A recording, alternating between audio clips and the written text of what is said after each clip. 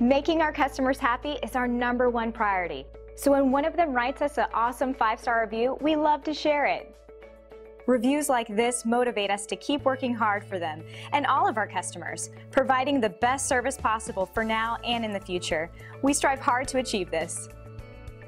So if you're looking for a company that has the best customer service backed by years of extensive knowledge and experience, then we are the right fit for you. Feel free to call us at the number on your screen. We're glad you had a chance to check us out today and we're looking forward to chatting with you soon.